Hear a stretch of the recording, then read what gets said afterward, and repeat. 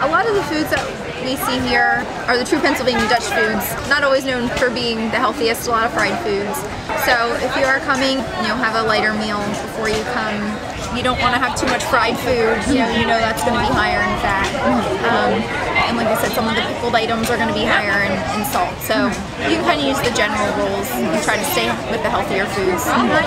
People don't really take the time to uh, make fresh food like this, and, and nobody wants the fried foods anymore either.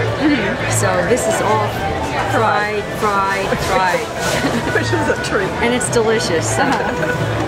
Had a lot of good meat entree options, like you could get the ox on the sandwich. Um, the one stand had the larger meal, and you could get chicken with that or roast beef.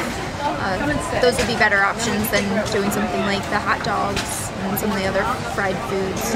Yeah, it does help that you're walking around and, and eating at the same time, so it helps a little bit. You are burning some calories off. Uh-huh. Our, our culture, it's just all food based. They want to try the shoofly pie, they want to try the funnel cake or whatever else is around.